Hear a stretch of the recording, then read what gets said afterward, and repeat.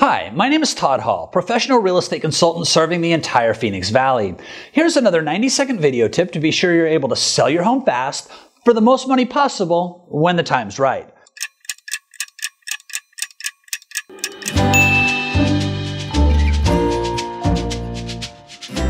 What's the first thing a home buyer notices when they drive up to your home? That's right, the overall curb appeal. You have no idea how many times a qualified buyer drives up to a property with the intention of looking at it, but drives away before they have a chance to see the inside. Yes, you staged the inside perfectly, but you forgot to make the outside visually appealing. Here are three helpful tips to be sure this doesn't happen to you. The obvious first is to ensure your yard is clean, clutter-free, and well manicured. You should constantly be looking for weeds or the neighbor's garbage that may have blown in.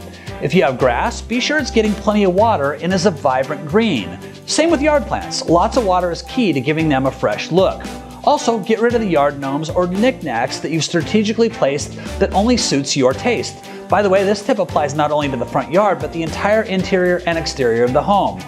Two, if you have desert landscape, it may be helpful to lay some fresh rock. Freshening it up is not expensive and can really enhance your home's exterior image. Last but not least, focus on the entryway. Does the front door need fresh paint? Again, an affordable visual enhancement that can go a long way. Have a welcome mat and eliminate no solicitation signs. Put some inexpensive but attractive plants or flowers in the exterior entry. Remember, we want people to feel welcome and these tips will appeal to their senses.